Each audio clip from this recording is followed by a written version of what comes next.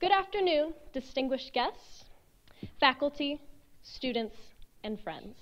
I am Jacqueline Kett, the Mistress of Ceremonies, for today's forum. Today we are here to celebrate the 231st anniversary of our nation's founding charter, the Constitution of the United States.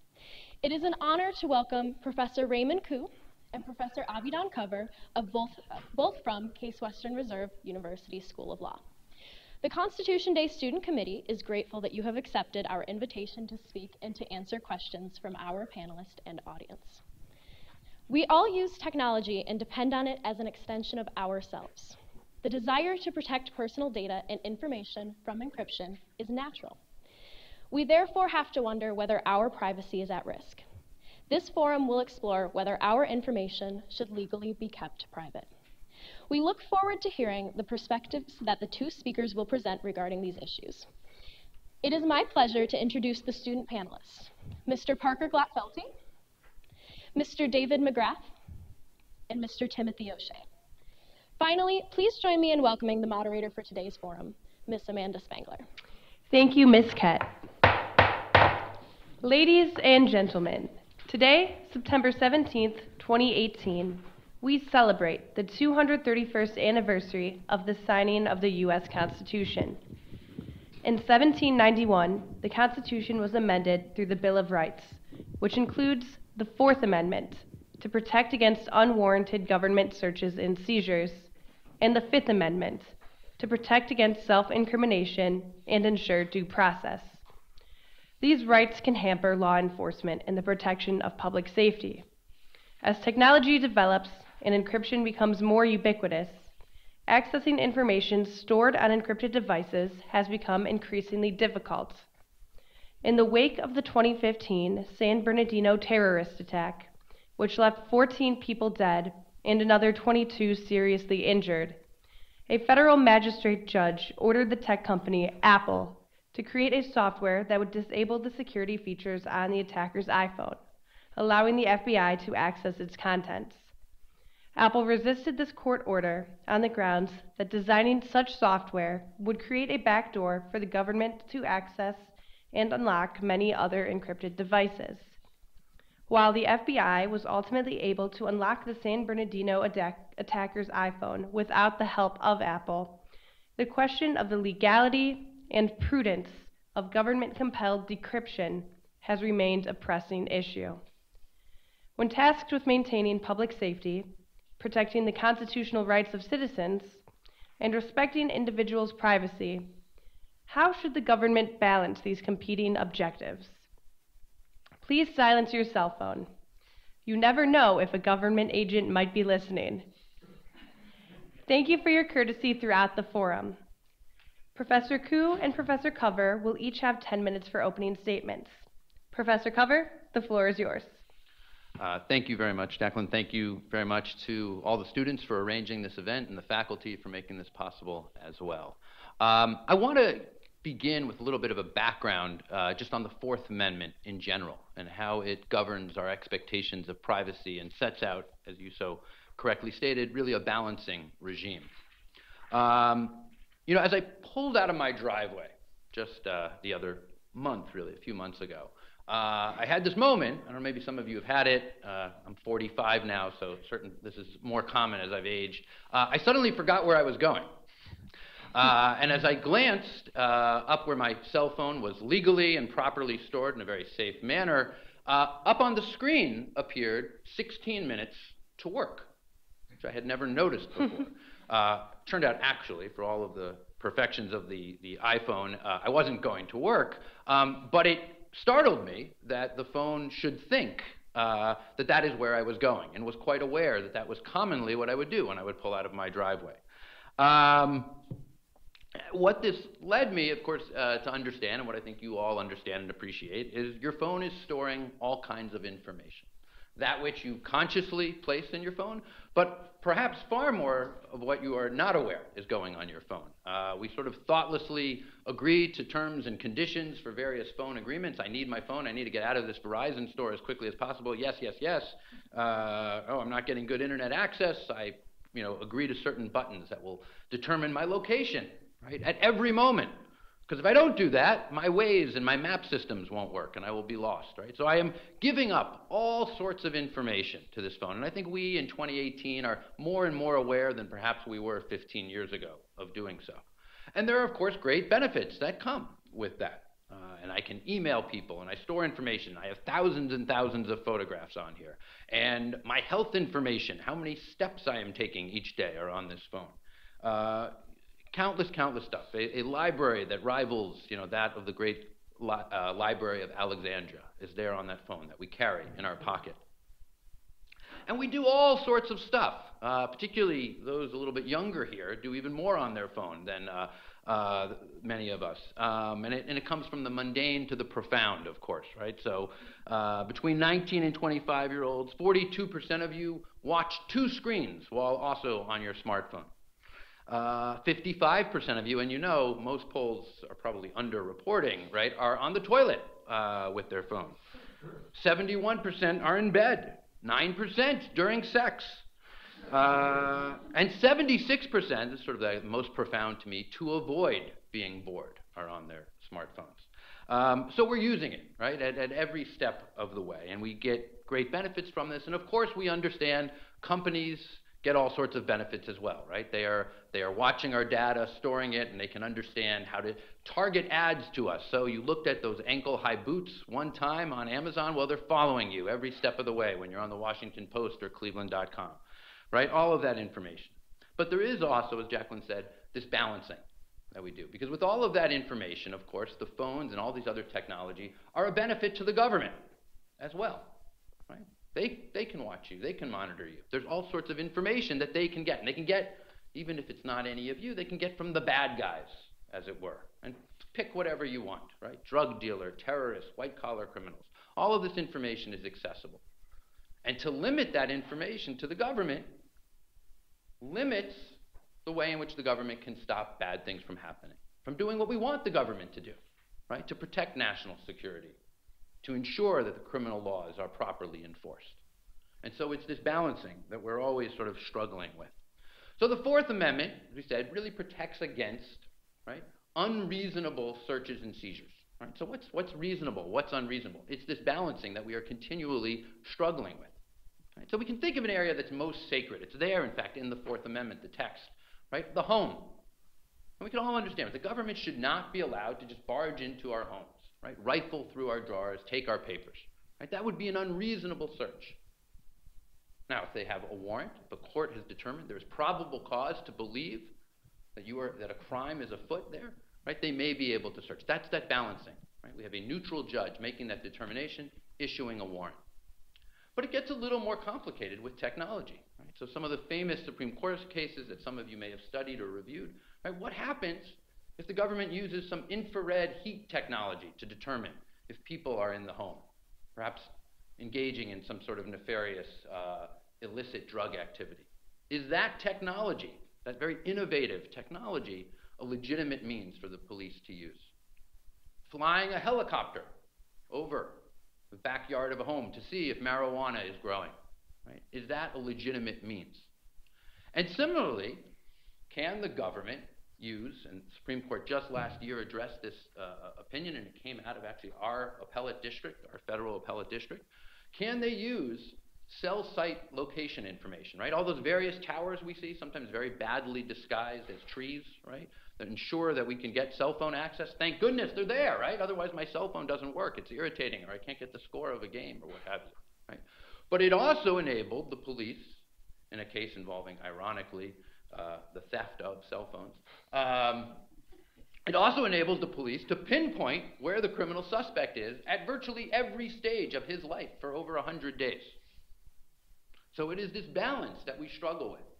Right? On one hand, can the police, can law enforcement use that very technology that makes our life so much easier to intrude on the privacies of our life? Right? It might sometimes seem, and this is often the case with many of these criminal matters, we say, well, those are the bad guys, so that's okay. In this case, Mr. Carpenter, right? We're, we're maybe okay with that. Many people can maybe make their peace with that.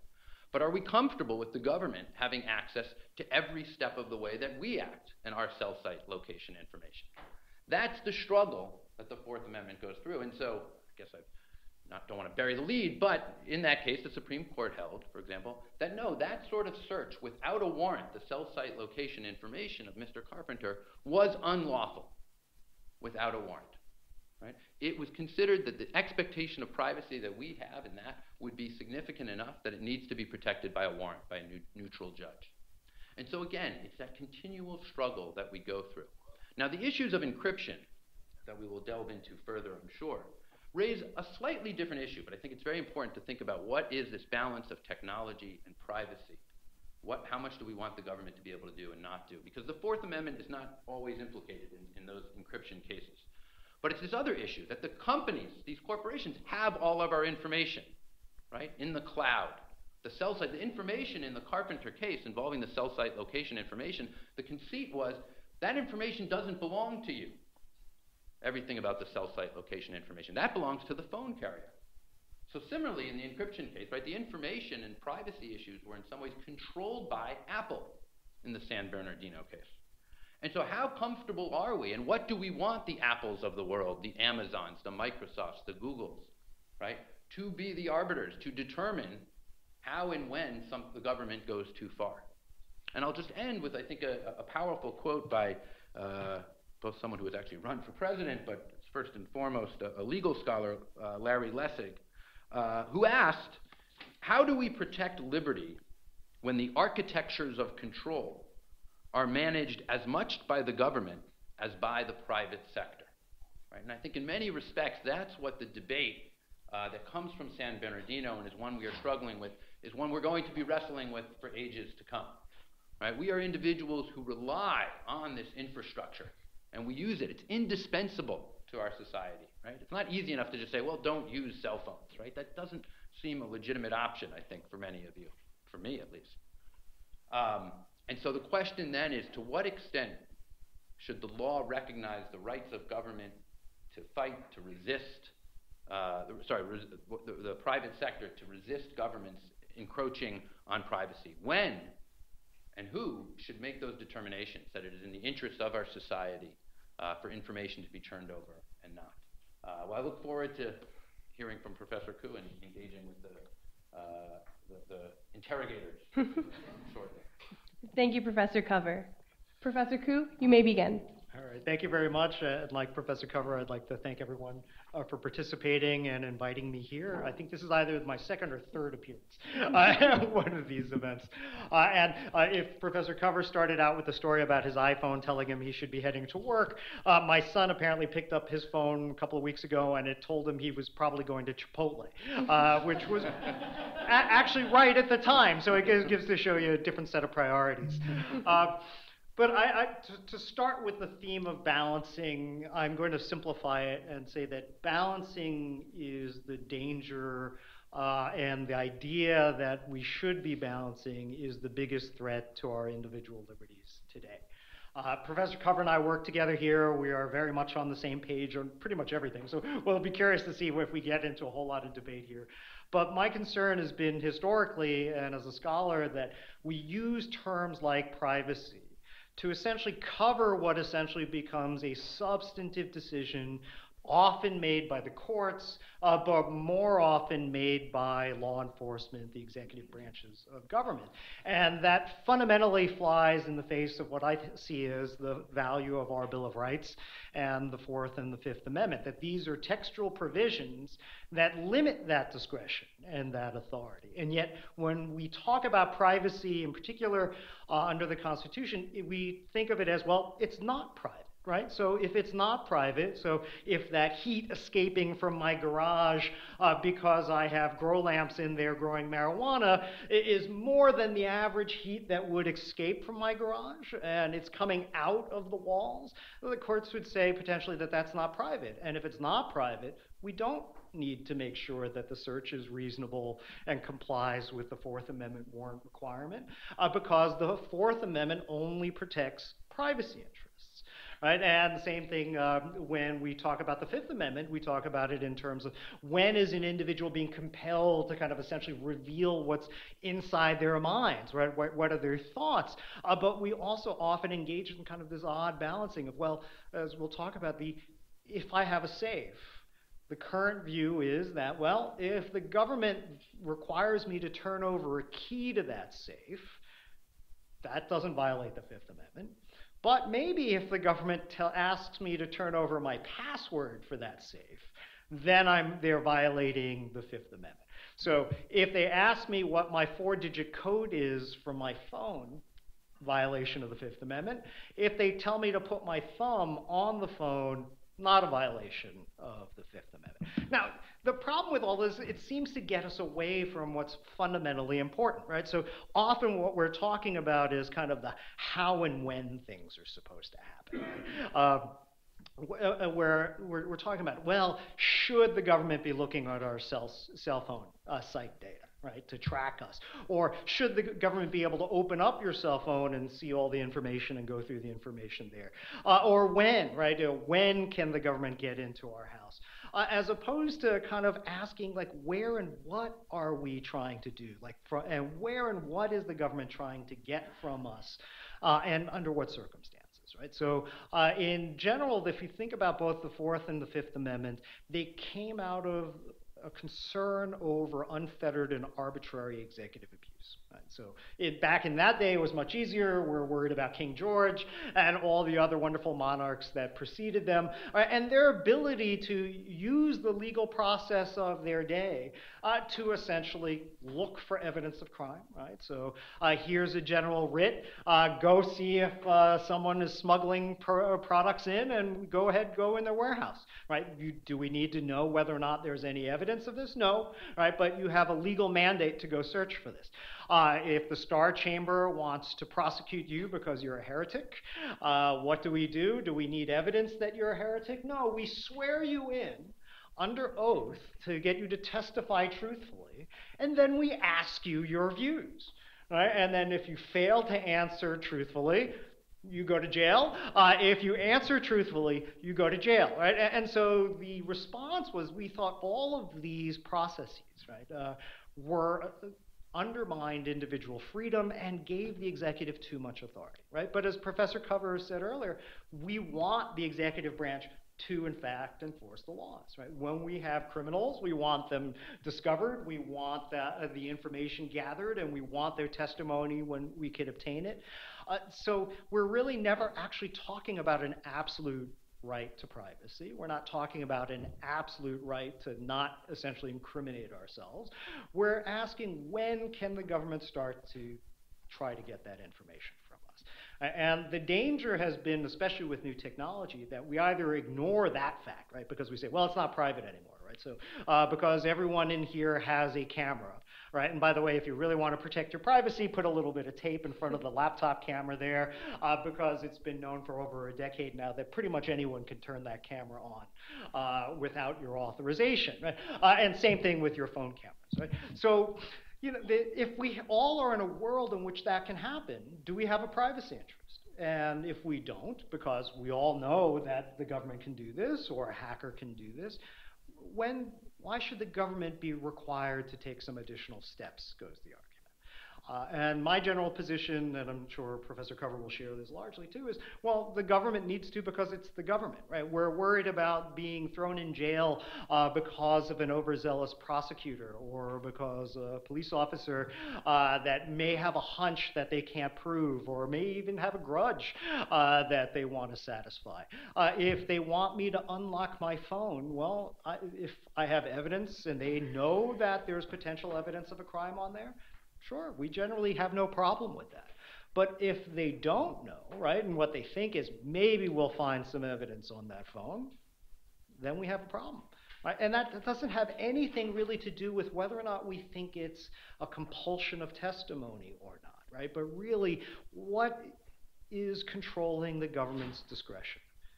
Do they have reason to suspect that Professor Cover is growing marijuana in his garage, right? Or that I uh, might have a, you know, child uh, slave ring uh, out of a pizza shop, right? Do they have any reason for that? Do they have any evidence uh, for that? And more importantly, do they have any of that that they convince, that they can convince some neutral decision maker that there's enough to go on, more than just that the trust me, uh, I know what I'm doing argument. And, and so hopefully today we'll be able to, to flesh that out and, and get to uh, why some of the larger popular issues like is this private or uh, is this uh, compelling my testimony may in fact kind of hide the more important issues uh, beneath these questions. Thank you. Thank you, Professor Ku. Uh, we will now proceed with questions from the panelists.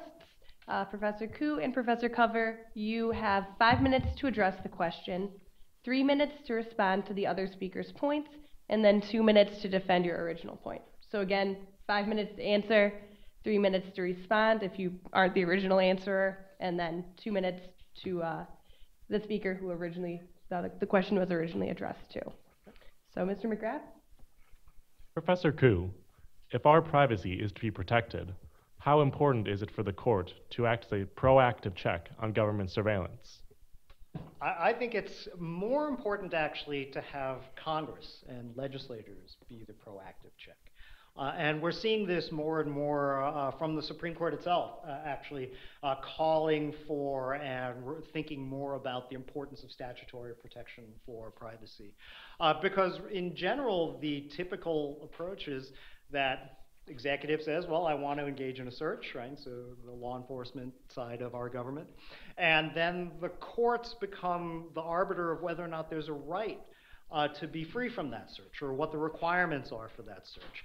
And uh, based on the work of Professor Akhil Amar, uh, he shows that in common law, before this country was even founded, that was exactly what we we're afraid of. And courts were not the protectors of freedom under those circumstances. By getting a warrant from a court, uh, the executive branch, uh, those investigating officers, were essentially immunized uh, for any wrongdoing when they actually engaged in their searches. Right? So uh, the concern there was that, well, at common law, right, that if you were a, law enforcement officer or claims, a, a customs and claims official, and you broke into a warehouse without any just cause, you could be sued afterwards uh, for trespass and damage the property.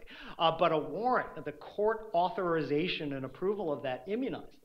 Right, so uh, Amar's view, and I, I, agree with him, is that courts uh, were one of the groups that they wanted to keep out and constrain their discretion, which is why the Fourth Amendment actually lists, uh, you know, sets forth the standard for courts to actually issue warrants. Right? So the concern isn't the executive and the judiciary under those circumstances. The government, you know, executive wants to use all its powers it can to legitimately prosecute crime.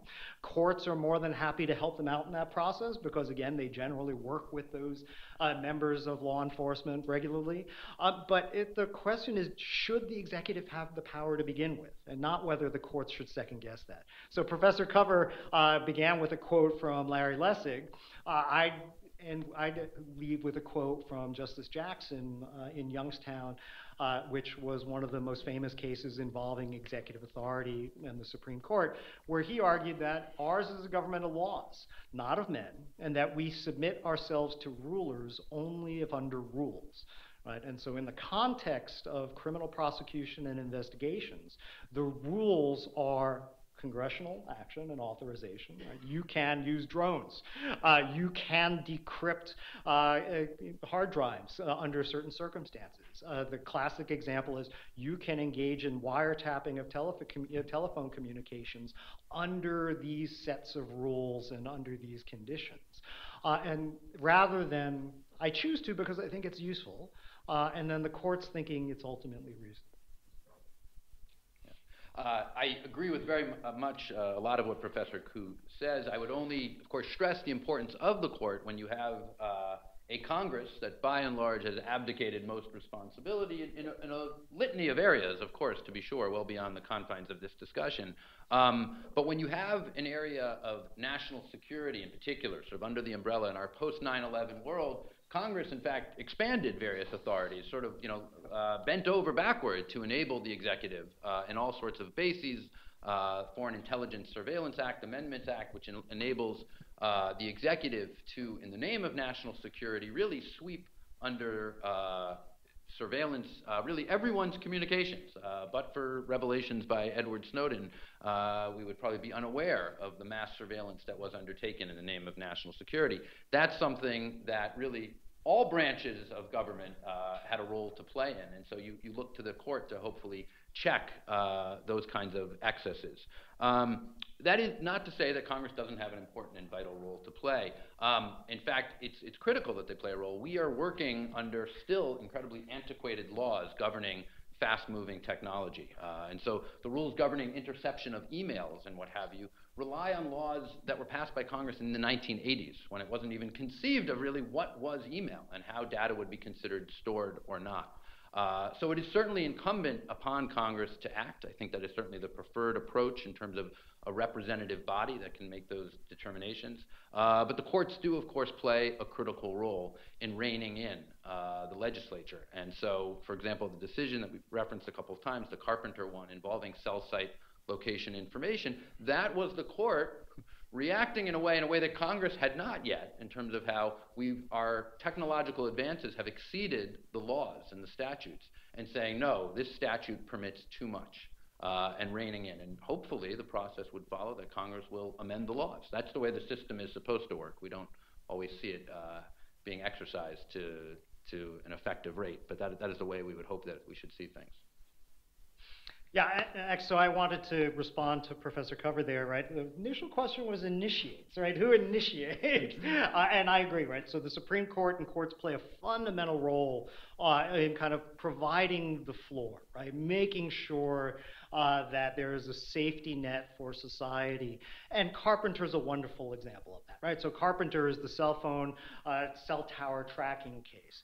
And initially, right, the argument is, well, it's not private Right? Why? Well, when this moves around, you're sharing that information with your cell phone provider all the time.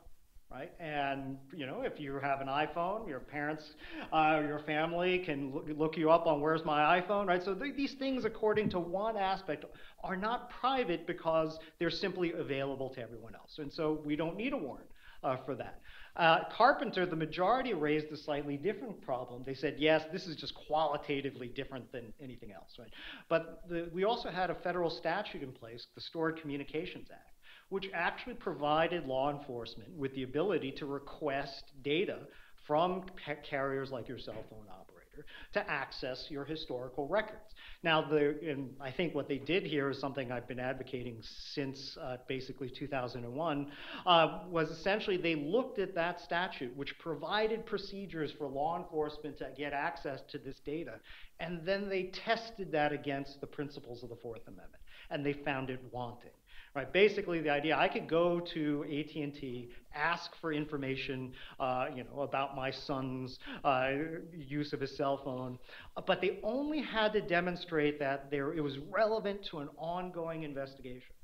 So there could be, it's actually quite broad. And what the Supreme Court said is under those circumstances, that doesn't sufficiently protect against that arbitrariness uh, that the government could be engaged in. And they required that at the very least there has to be some quantum of individual suspicion. So, yes, the Supreme Court plays a major role. Professor Cover, in 2012, the 11th Circuit Court of Appeals ruled that forcing someone to unlock an encrypted hard drive violates the Fifth Amendment self incrimination clause. What is your opinion on this holding? Well, so it, it of course depends on, on some of the factors uh, in, involved there. But I think the general idea there, right, and Professor Ku alluded to this in, in his opening remarks, uh, is that in asking someone to provide a password, uh, to open up their phone, uh, you are asking them to you are asking a person to share his or her thoughts and it has the potential to violate the Fifth Amendment right against self-incrimination, right? So again, we go back to our phone. What's on here? All sorts of incredibly personal information, right? Thousands and thousands of documents. And by giving my password to get onto this phone, right, to, to essentially giving the key to my home, right, without a warrant necessarily, right, without anything, saying, yes, come into my home, look through everything, right, I run the risk of incriminating myself. And so I think the reasoning there is, is just right. Uh, I, I, think it, it absolutely uh, implicates that right against self-incrimination. Um, there is this personal information that, that is precisely what the right is intended to protect against.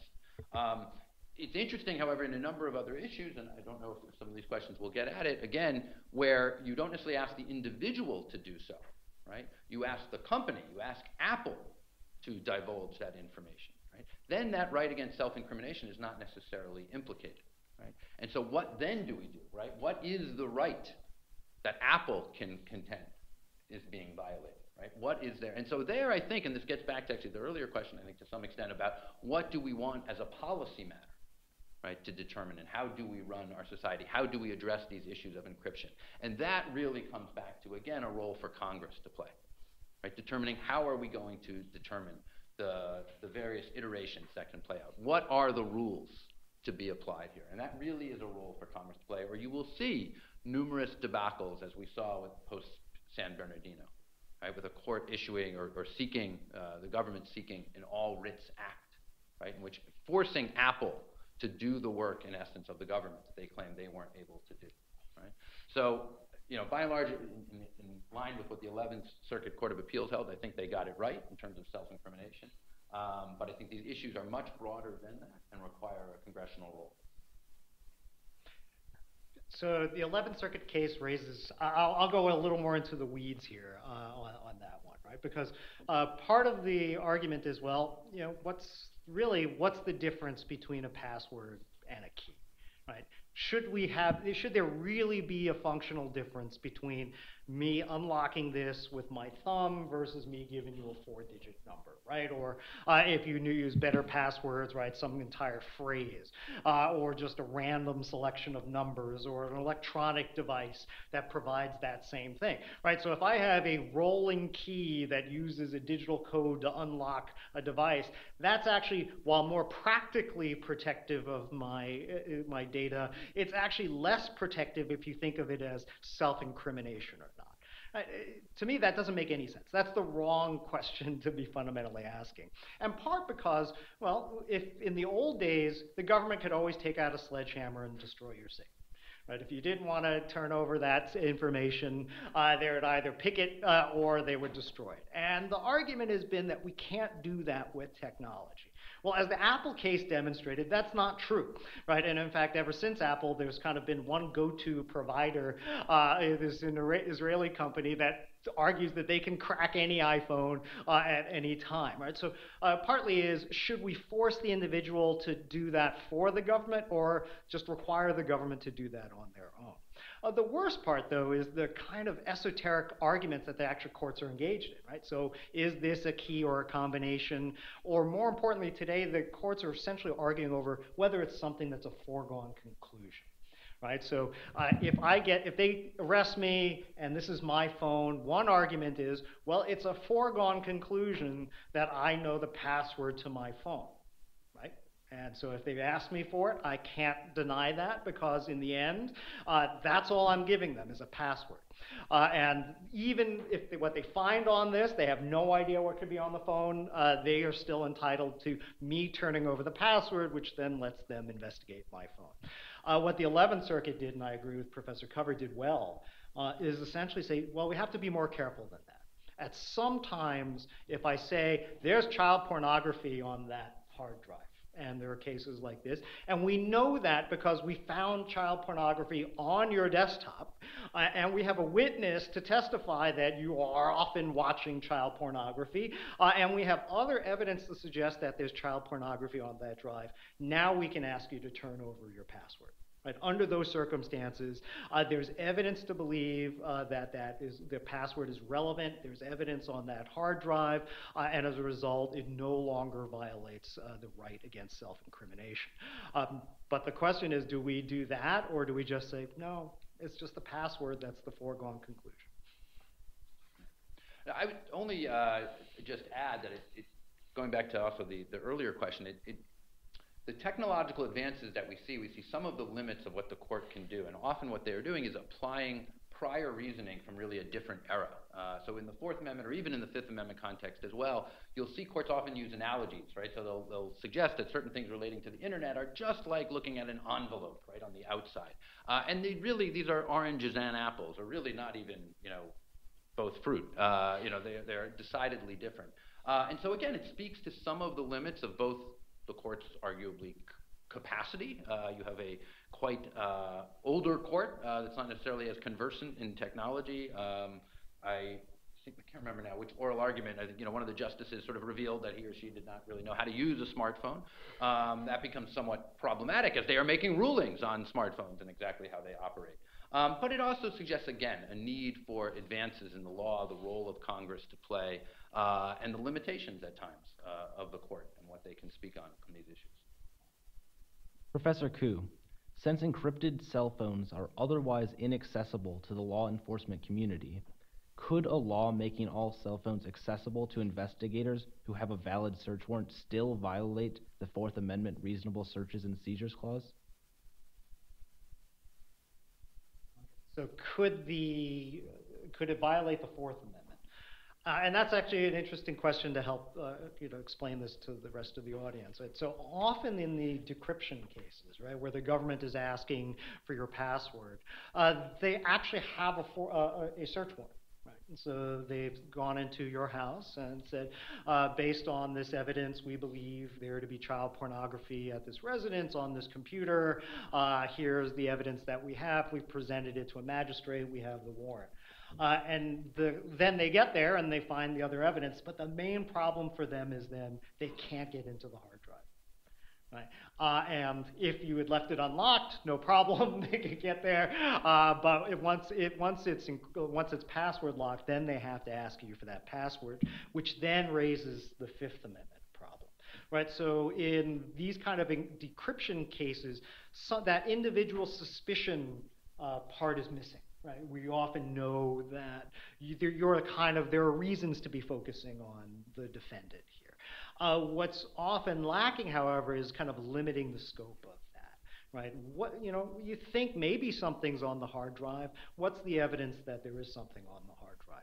Uh, what are we going to do to potentially mitigate the amount that the government is searching on your hard drive? And I don't know about most of you, uh, most of us use one password to protect any number of things, uh, right? And then unlocking one device also has the potential to unlock access to multiple devices and platforms. A point that the Supreme Court made clearly in the Riley case, where they said your smartphone uh, is not something that it, it requires a warrant to get into. Right um, now, there they didn't address whether or not they can make you give up the password. Right? But the idea basically is that we need to have the government say, this is why I'm interested, this is how, uh, what I'm looking for, and these are the circumstances in which we should be searching for this. It's not a license to go engage in a fishing expedition through your files, even if there's reason to suspect that you are engaged in other activities, right? So if we think uh, someone's in, involved or has child porn, does that mean the government, after opening the hard drive, should look at your health records? Uh, or your financial records. Uh, and again, I mentioned it earlier, the Wiretap Act is really kind of, in my view, the proper model the Congress stepped in after the Supreme Court said, well, there's really no expectation of privacy in your telephone calls uh, because essentially you're sharing it with another person, uh, and it's often, uh, it takes place on property that's not part of your property. And Congress said, no, there is actually a fundamental problem with law enforcement listening to our telephone calls all the time. Uh, and it said, these are the circumstances law enforcement can use uh, wiretapping, right? They limited it to certain kinds of crimes. Uh, these are the conditions in which law firm can, uh, law enforcement can engage in wiretapping, uh, and fundamentally, for example, requiring them to limit the amount that they're listening to in order to not uh, hear too many uh, conversations or too much conversations that's not relevant to the investigation.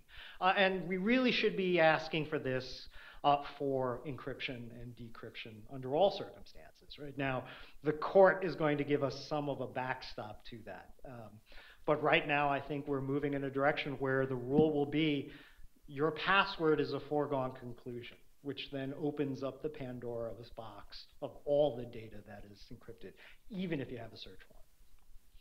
Uh, and, and, maybe that, that, tees up well, uh, just to maybe go back to just some of the few basic facts of the San Bernardino matter, just to get a sense of it. Because again, as I alluded to, it wasn't really a Fourth Amendment issue there, right? So if people remember, this was a tragic uh, terrorist attack in San Bernardino, California. California, Saeed Farook uh, killed 14 individuals, um, and that he and, and his wife destroyed their personal cell phones. So those cell phones were not an option for the government to use to sort of piece together what had happened and, and conduct further terrorism investigations. But there was a phone that was actually owned by his employer. right? actually a local government entity, I think. Um, and the government wanted access to this phone. And it was one of those phones where if you tried the password 10 times, the phone would, for all intents and purposes, blow up, right? I mean, it would not be accessible any longer. Um, and so what they wanted to do, right? So there was no Fourth Amendment right here, right? Mr. Farook was deceased. Um, the entity was, was happy to hand over the phone. They weren't disputing it. The issue was the government needed, in order to get access, they needed Apple to essentially provide access. But it wasn't even that complicated. The way the technology was in that iOS phone system, Apple didn't have the means to do so. And so what the government was seeking was saying, Apple, you need to get your hotshot engineers, your top-notch te- technology trillion dollar company, right, and figure out how to gain access for the government. And they pursued this sort of very old 1789 All Writs Act, which essentially can deputize any of us, right, to aid the government in very precise circumstances. And that is what Apple was fighting. It was fighting this issue.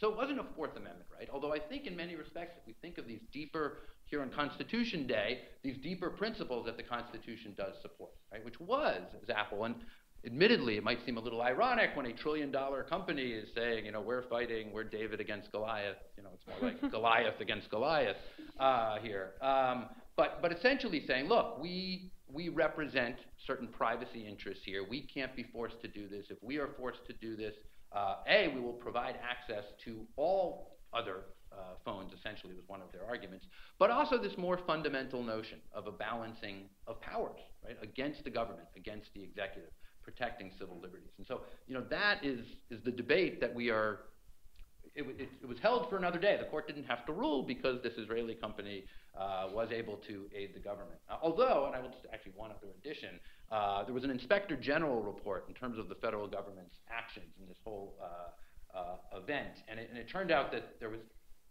at best, miscommunication on the part of the various branches of the FBI. At worst, pure dishonesty uh, in terms of actually the federal government knowing or certain components of the FBI knowing actually how to gain access to this phone. Uh, and so perhaps it was just one branch of the FBI not speaking to another, um, but it may also have been duplicity there. Uh, but again, these are larger issues that we are going to be fought for another day. I believe we do have time for one more question from the panel before we turn it over to audience questions. So, Mr. McGrath? Professor Cover, how can the government protect public safety without infringing on privacy? For example, what could the government do to keep us safe besides creating generic encrypted keys? Well, I, you know, I, I guess it's, it, it's partly how we define safety. Uh, you know, in terms of, I mean, I think these writ large issues. Um, there are, I think, a lot of rights neutral ways uh, in which the government um, can provide safety. Um, and so, I, you know, I think it's, it's a question of whether they really need uh, this sort of access. Uh, I mean, what has sort of come out is that you're talking about a very discrete uh, type of, of bad guy, if you will, uh, that knows how to encrypt, that knows how to go dark, uh, as is the, the terminology that the FBI frequently uses um, in terms of preventing any government access. Um, and so if that is the case, the question is also whether the government is seeking you know, far too greater powers than they want, right? So to have a key, a backdoor key is often the terminology used within the encryption context, right? The idea is that the government then would have a means, and this I think would be you know, going way too far, uh, to get access to every uh, single device. Um, you know, that is, is a great concern, and I think corporations rightly raise that. Uh, there's also sort of the, you know, um, you know, dangerous path of unintended consequences. So in the, this, in theory, is to provide security, but suddenly this information can become accessible to the very bad guys that the government purports to, to stop and interdict. Uh, and so there is very much a problem of that, you know, sort of contagion uh, or spreading of that very information. Um, I think there are, there is certainly, uh, and a debate is going on with, with uh, technological engineers and the government uh, and trying to work together to figure out some sort of compromise. There are means perhaps where there can be backdoors for certain devices, perhaps some people have talked about, but certain um, you know, uh, apps and programs, you know, not so. So it may be far more difficult to gain access to WhatsApp for some, for example, in terms of that encryption. Uh, but maybe some devices there is some sort of, of key that could be created. Uh, that is certainly beyond my ken in terms of you know technological capability. Um, but I think you know there has to be this discussion. There has to be this uh, uh, collaboration between these groups to figure this out? Uh, not to show my age, though thankfully uh, my physical appearance doesn't show my age as, uh, that, that badly. Uh, I remember back in the beginning of internet law, uh, it, we were participating in debates about encryption, uh, especially about the role of government in maintaining encryption keys or finding third parties that could be trusted to possess or have access to those keys. Uh, and I'd be remiss to point out that, uh, to not point out that Professor Peter Junger, uh, who was on the faculty uh, back in the 90s, was actually, is a named party in one of the most important encryption cases uh, at the time, which was that encryption and programming itself uh, could be protected in terms of sharing under free speech uh, principles, right? So that the government couldn't prevent uh, the dissemination of encrypt encryption programs or the understanding of encryption technology uh, on the idea that it was somehow a threat to national security. Um, but the main problem has always been technologically. You create these backdoors, they're backdoors, right? So anyone can ultimately exploit them. Last year's uh, disclosure that the NSA had been hacked, uh, leading to the use of many of the hacking tools that the NSA created, uh, and for other circumstances, you know, proved what we were all concerned about at the time, which is once you make it possible to break this technology very clearly, it will ultimately get exploited. Um, and so for me, this is really an example of where maybe it makes sense for society and for individuals to determine when it's fair to require the individual to disclose their password. Right? That is the much easier and much less dangerous option than essentially putting all of our data at risk. Right? Identify when uh, you can make me turn over my password because you have evidence of, that I committed a crime.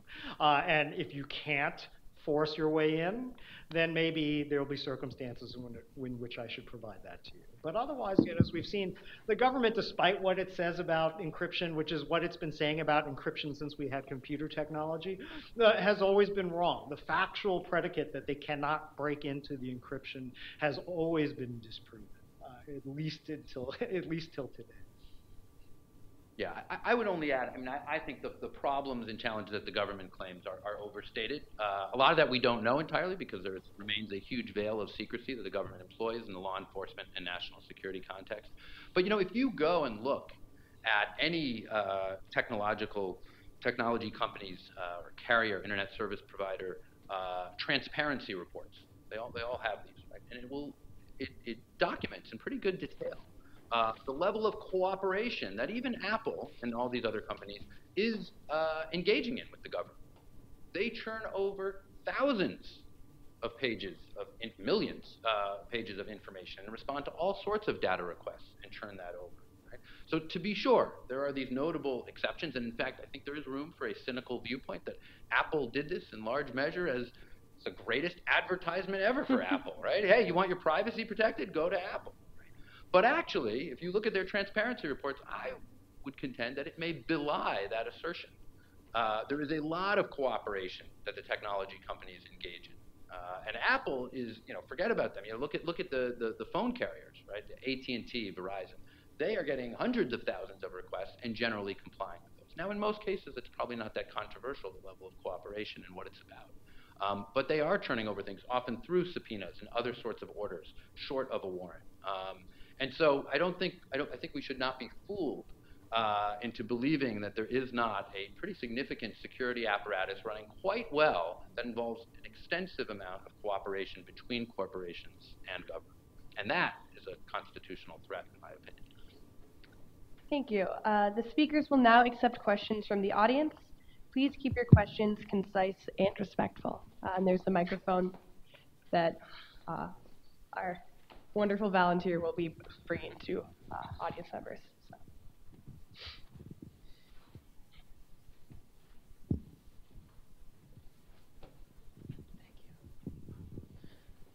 Hello. Um, this one is for for both professors, but Professor Ku said something specifically that made me think of it. Um, in the beginning, you were talking about the importance of congressional action, um, which made me think a little bit of Justice Alito's dissent in Carpenter, um, and so I'm wondering whether, so I like the outcome of Carpenter, Um, I'm a little confused how the majority reached the decision, um, and I've read it a couple times. So I wanted I wanted to know whether you think, even though Carpenter might be a nice decision um, in terms of outcome, whether you think that it puts Fourth Amendment protections on kind of shaky ground.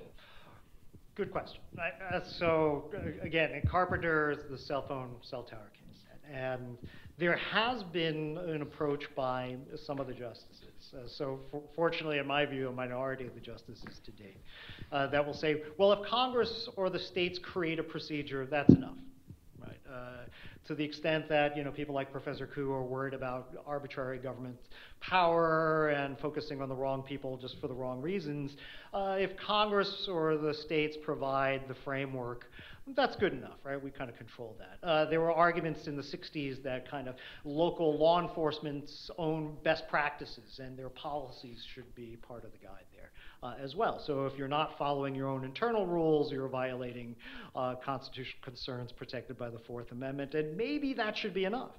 Um, I've never believed that, and I think that's why I said the majority did the absolute right thing, right? Which is first uh, look to see is there something that Congress has done.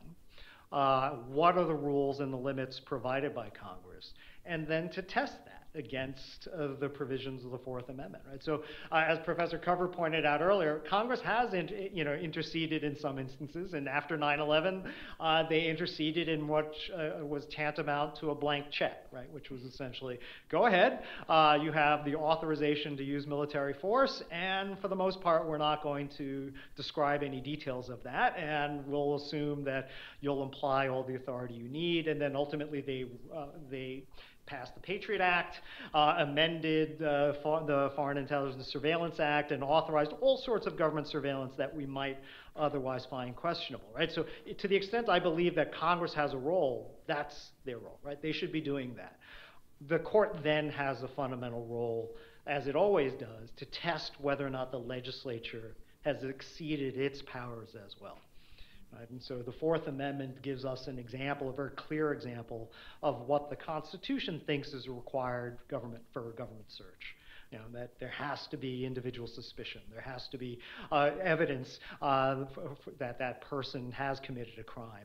Uh, whether it's probable cause or some higher standard, uh, that the, the court can debate about. And we're kind of seeing that starting to play out now.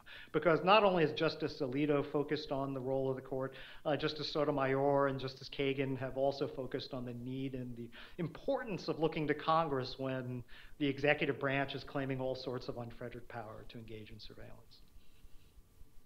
Yeah, I, would only add, I, I, think it, look, that, that order, the, the, the order that, that the government did obtain in Carpenter, right, was pursuant to a legislative understanding of a prior state of the law, right? This was the third party doctrine that we, we've talked about, which generally suggested that there is no search, there is no Fourth Amendment right implicated if all you're talking about is information that you have shared with a third party. So in this case, your phone location data. Uh, and then it's not content, right? It's actually not content information. It's this metadata, it's this location. And I think just simply times have changed. And that's what the court was rec recognizing at some level. And it's a nudge to Congress to, I think, adapt. It's not to say that there can't be some other statute passed that I think might provide, the, you know, not too much of a burden on the government. But the idea there was that qualitatively this is different. Right? It's not the same thing as getting just a business record or through a wiretap or a pen register, as was the case where the third-party doctrine really was formulated. Right? You're going to know every spot where this person went, and so you know, as the court has uh, you know, documented, you would know that they went to their psychologist, and you would know that they went to their marriage counselor, and you know you would know that they went to their chiropractor and their priest and their imam and whomever, right? And all of that personal information, so that it made it a qualitatively different analysis. Um, I don't know. I, I, find that analysis fairly compelling. Um, I think there is some question about now whether it calls into question a lot of subpoenas uh, and subpoena power and sort of what are the limits on that.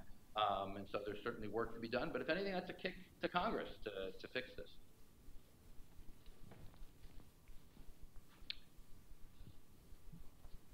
And by the way, while we're waiting for the microphone, Professor Cover's point about the role of private parties and especially corporations in the government. Uh, we, we hosted a conference years ago at Seton Hall when I was there, and right after 9/11, we we're talking about security, and one of my colleagues and co-authors, uh, counsel from AT&T at the time, said that should be our greatest concern That after 9/11, it wasn't so much the government's authority and power, but the fact that the government was going to ask AT&T and Google and all these other companies and Apple to be a partner in this process, both in good ways and potentially troubling ways. And not be able to disclose. Exactly, right. yeah.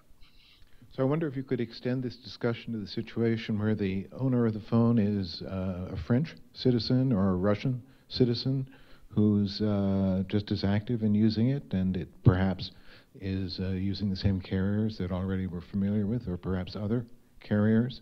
I know that's a big question, but So do you, do you mean the, a a foreign national in the United States, for example? either in the United States Or elsewhere? being elsewhere. And Well- what has practice been? Well, the easiest response is else, a foreign national elsewhere, they're not protected by the Constitution at all.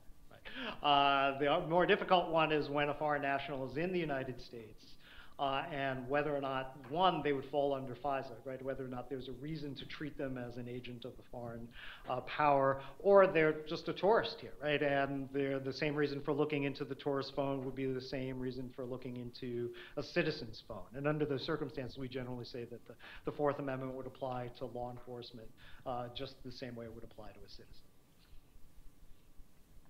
Yeah, I don't think, I have anything to add. Um, I'm puzzled about something here. Um, there's really two things here.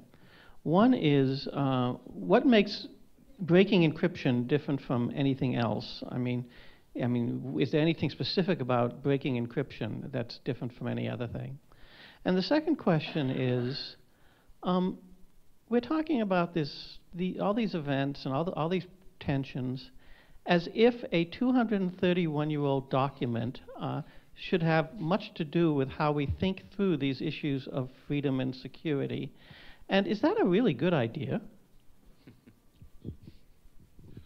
You want to start? Well, let, let me let me take the latter one first. Uh, I think, embedded in that question is, uh, is, a, is a, a fair conclusion there as well. Uh, no, there's, there's a lot of uh, limitations to be sure to the Constitution, and, and I think actually Supreme Court, when delving into particularly issues of privacy and technology, usually begins with some admonition to that effect of saying we would really prefer that Congress to get involved and, and, and, and the like, uh, and a recognition uh, of a desire not to step in and make determinations, recognizing in fact that technology is moving so quickly uh, and that its decisions can be outdated quite quickly.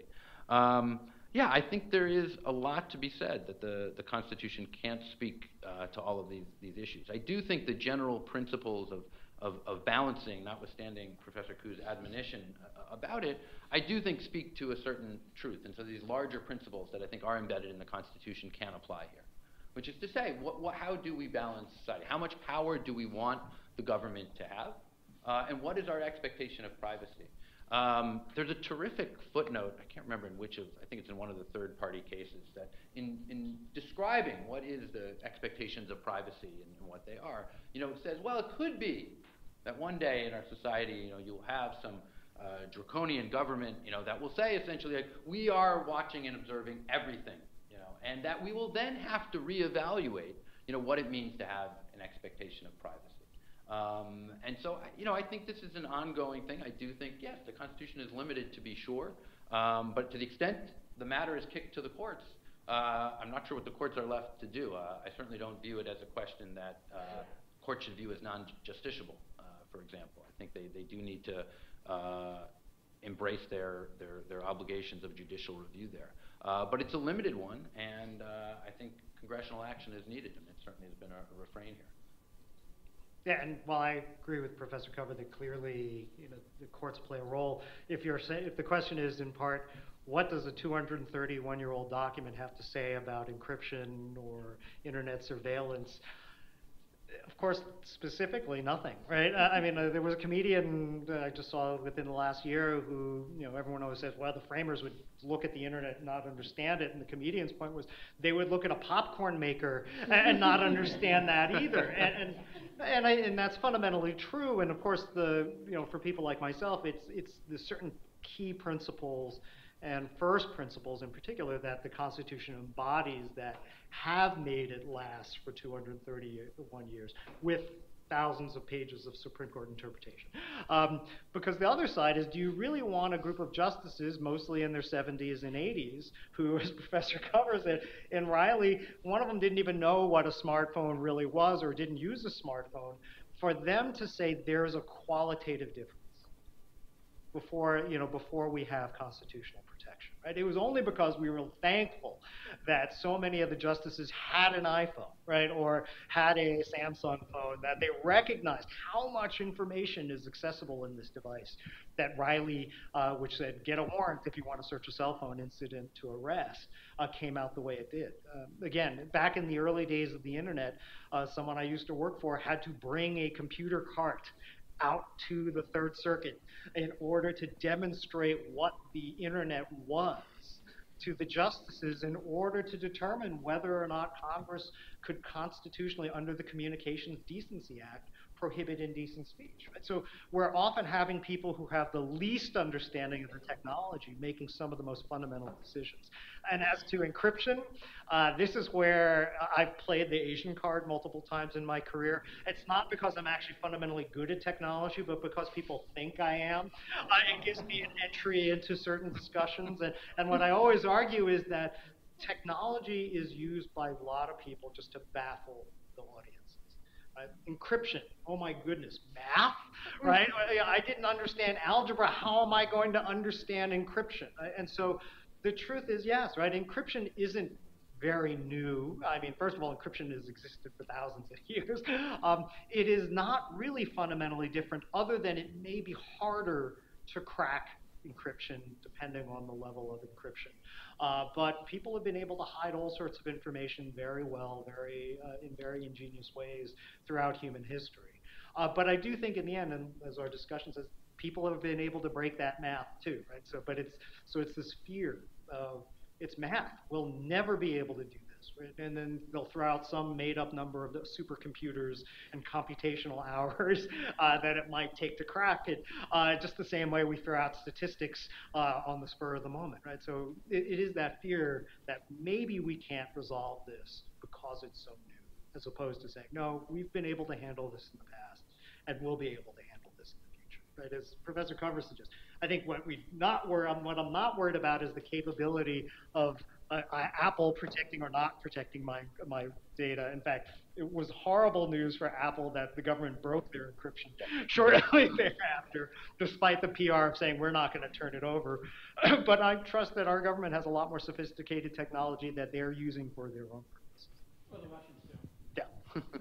there is, you know, there's Oh. a, sorry, uh, there's a one of the preeminent privacy scholars and uh, wrote a brief in, in, in opposition to Carpenter, Orin Kerr. Um, you know, has a, has a theory of the Fourth Amendment, though, that speaks to some of this, which is sort of that it's it's, it's an idea of equilibrium adjustment, uh, and that you know, with various times and changes in technology, it's always trying to seek out this sort of balance. Uh, and so, you know, the government should never have too much power and ability to violate people's privacy, and individuals should never be, you know, so removed and protected from the government's reach. And there's some sort of balance that is to be adjusted. That's a role the courts and Congress uh, have to play to ensure. So ironically, Orin years ago argued that encryption should not give you a reasonable expectation of privacy. Uh, not because encryption was either fundamentally difficult or easy to crack, um, but his idea was that encryption is essentially having information in plain view. So that it would be no different than uh, you know translating your document into French. Uh, the only difference is you needed a much more sophisticated translator at the other end. So uh, Orin's a wonderful guy and a great thinker, but he has a perspective that I think a lot of people would be a little skeptical with at times.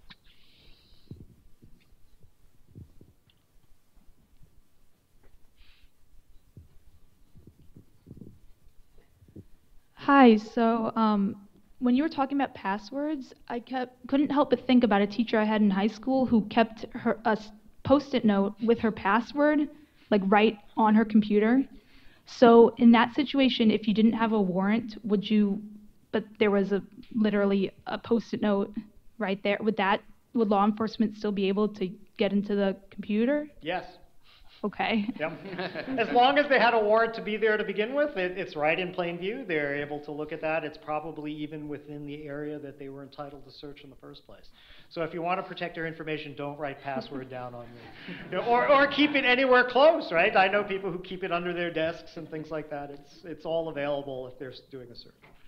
All right, thank you. Mm-hmm.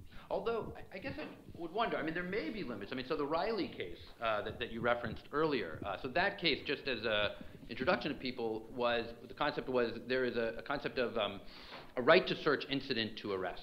So if you arrest someone, you can often, in fact, search the various items in the car, things that are on them, you can actually search, and without a warrant.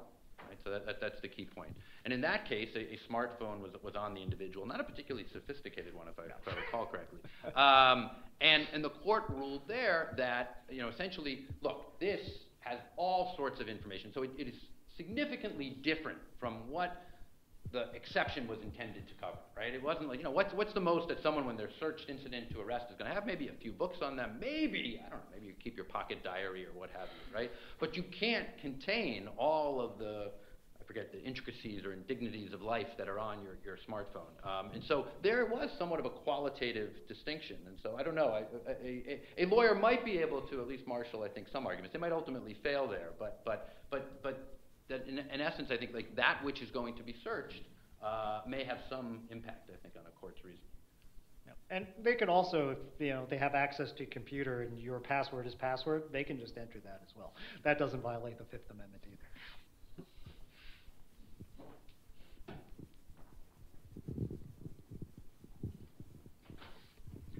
Kind of um, like extrapolating on that, you were talking about one password or any of those other password managements. So if they are able to gain access to that, um, how is that much different than you know gaining access to a house and finding a, you know a notebook with 15 different passwords listed on it? Is it very similar? Is it treated differently? Well, and that's the danger, right? Uh, and so what I'm concerned about is this kind of movement, which is actually, you know, Professor Kerr's argument here for passwords, that it's a foregone conclusion that if we find you and your computer, that you know the password. So therefore, having you disclose the password isn't giving the government anything that they didn't already know, uh, which is the foregone conclusion rule. So there's no Fifth Amendment violation there. Uh, the concern would be, well, if you disclosing that password somehow then maybe uh, implicated the fact that maybe you were engaged, you had documents that you weren't supposed to have, um, that would be a Fifth Amendment problem. Like, then you'd be providing some evidence against yourself. But just the password, if we focus on that, some of the argument is that that's not a problem. And yet, what you're saying is, is what I'm noting too, that that password can lead to any number of other passwords and other information that may have absolutely no connection or relationship to what the government was initially searching for. And that is the danger. It's so it may be that it's a foregone conclusion that my, I know the password to my iPhone, right? Otherwise, I own a plastic brick, right? But uh, if if they can get that just because it's my phone, then they have, as you know, Professor Cover is saying, what the court's starting to recognize as a qualitatively different level of access to my information. Right? Most of us, with one or two passwords, you can probably get access to every bit of information that we have. And, and if you can't do it from just the one password, uh, you can do it because you'll find other information that will connect you to other accounts that may already have the passwords on your uh, computer that will automatically enter them when they pull it up. So it's, uh, there is a fundamentally important reason for the courts to follow actually what they did in Carpenter, which is ask what information did the government want from the device, not just whether or not it was a foregone conclusion that you knew the password, right? But was it a foregone conclusion that they knew you had child porn on that hard drive, and this was just getting access to it? Just to follow on that, I mean, of course, it would depend, of course, it, had they followed the scope of the search, the initial warrant to begin with. So, you know, if you had a, a warrant to only search for, I don't know, you know, items that were as large as a human body, and you're looking in certain locations where the password is kept and it's outside the scope of that warrant, that might not be actually lawfully obtained information, right? So that could limit it. Um, so that's at least one consideration. The other thing I think is important to say, and obviously some law enforcement might disagree, I, you know, a warrant is not always so hard to obtain. So I think, you know, understanding in all of this is sort of, you know, it's not necessarily this, you know, you either get privacy or, you know, or, or you know, all security is violated. Um, sometimes it requires to just go that extra step and provide enough information to show that there's probable cause that a crime uh, is, is involved here. Um, and it, it's not such a high threshold. Um, so we're not necessarily saying that all your privacy is protected. No, you go before those imperfect judges that uh, Professor Ku outlined that the framers were worried about. We have time for one or two more questions is from the audience, if any remain. Go ahead. All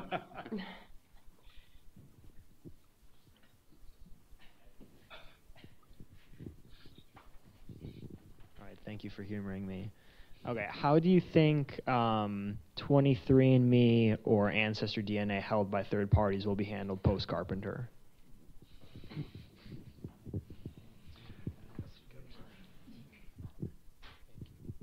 So is the, so I, just the context in which they're searching or getting that information?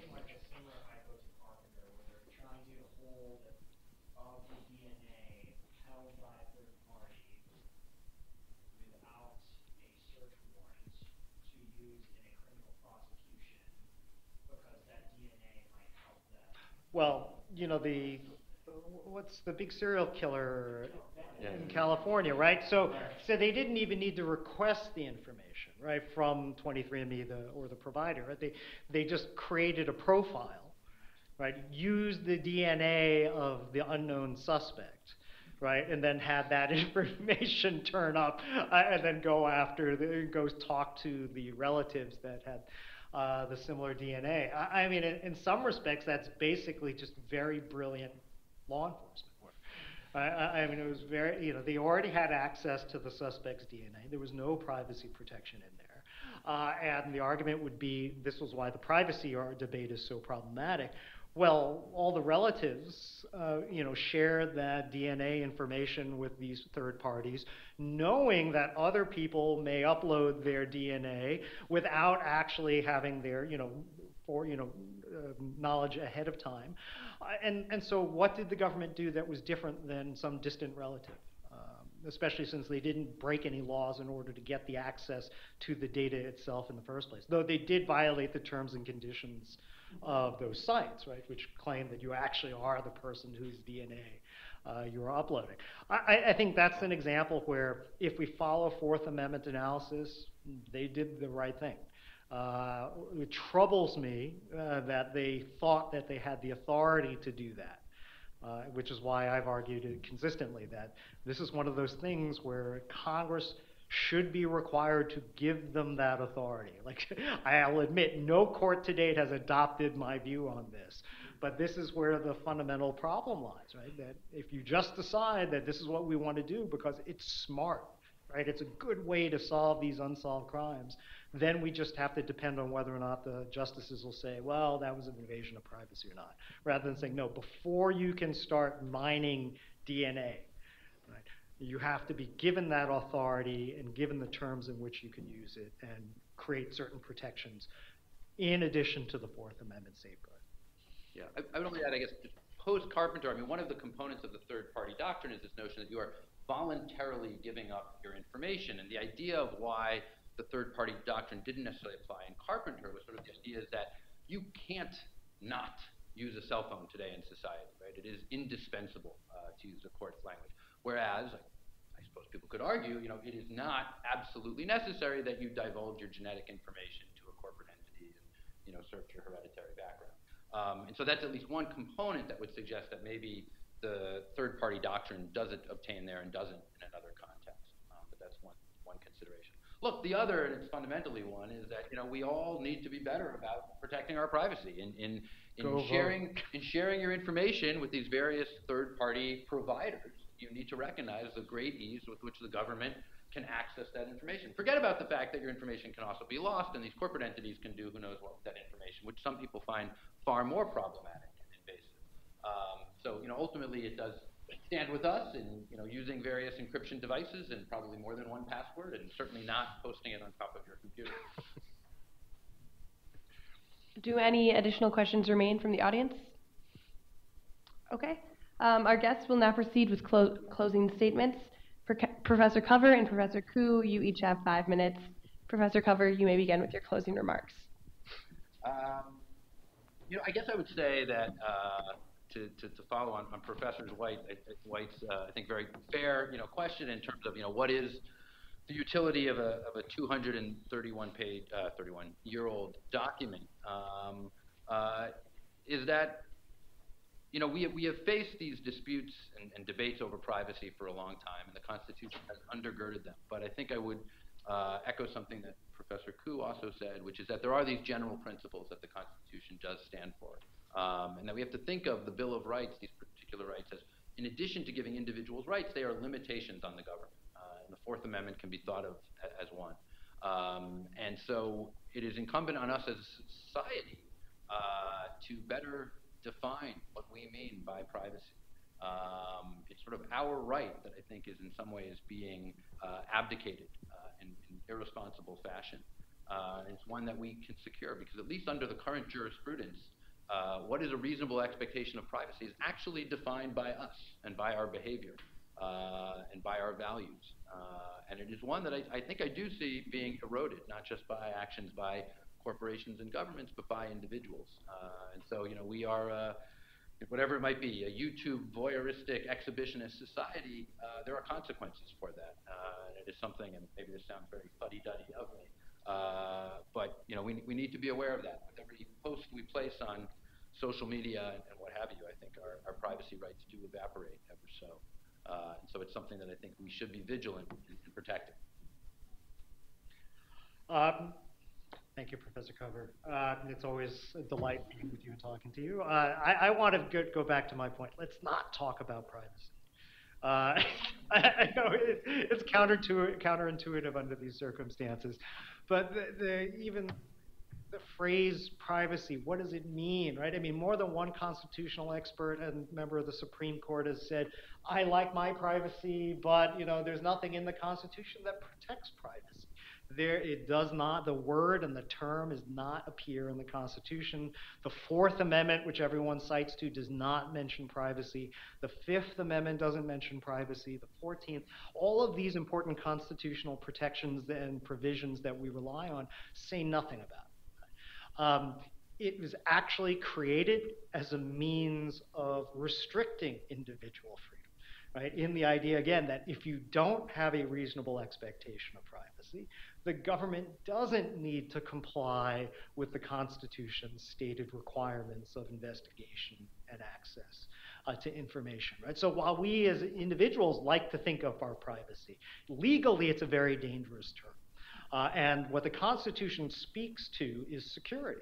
Right? And, and that's one of the other things that's so important here, right? Because when I know Professor Cover's balancing isn't the balancing I'm generally worried about, but what most people do, especially post 9 11, the balance is security versus privacy, right? And if the balance is 3,000 people dying uh, on September 11th versus a little intrusion on my cell phone when I have done nothing wrong, most people will say, okay, security wins, right? Uh, whereas what we're talking about fundamentally here is security, security of the individual who is potentially a victim of crime or is a victim of crime, as well as security of law abiding citizens from a government that may be overreaching and abusive. Uh, and under those circumstances, if we think about these are the concerns, right? The problem when should government be able to access your data? How should it be able to get you to testify? We can kind of move beyond the what I think the courts should be criticized for, which is taking it upon themselves to determine what reasonable privacy is. Right? So while Professor Cover's right, right, we have a sense of what privacy is and what should be protected. Uh, the research that's been done on this suggests that you can go and objectively uh, survey people on what their reasonable expectation of privacy is. The courts ignore that. They don't care at all. Right? It's ultimately their subjective determination that too much. You gave your DNA data to 23andMe. You don't even read the terms and service of 23andMe. So why should you have any expectation in privacy in this company, uh, or that your data will be somehow otherwise protected? Or, you know, every person has to walk around and with a cell phone and that information is there. Or, you know, your drone can easily fly over your house, uh, just as well as, uh, you know, United Airlines flight. So what, what kind of expectation of privacy do you have there? Uh, where, you know, again, it does default to, as Professor Cover suggests, we have to be vigilant here, right? You can't just depend on the ACLU to bring these challenges. You, you certainly can't depend on the courts to be um, open to ideas of rights of privacy when a criminal defendant has been caught red-handed with child pornography uh, and they're raising Fourth and Fifth Amendment arguments, right? We have to be proactive as citizens to say that, no, there are reasons why government should be investigating us, and there are legitimate ways they should be investigating uh, potential crime, uh, but there are legitimate interests on the part of the citizenry that deserve to be respected.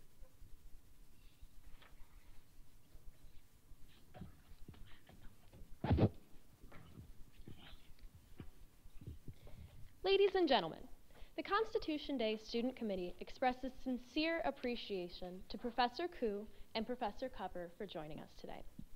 We give special thanks to the Office of the President and Provost and to Vice President Lou Stark. We also thank many contributors. Please hold your applause until the end. The School of Law, the Department of Political Science, the Center for Policy Studies, the Case Western Reserve University chapter of the Federalist Society, our student panelists, moderator, timers, and volunteers and our wonderful advisors, Dr. DeSwart, Dr. Dull, Dr. Lucker, Professor Tartikoff, and Dr. White. Everyone is now invited to proceed upstairs to Blackacre Lounge, where we will be serving refreshments. Professor Ku will be available to uh, answer any questions that remain. Thank you.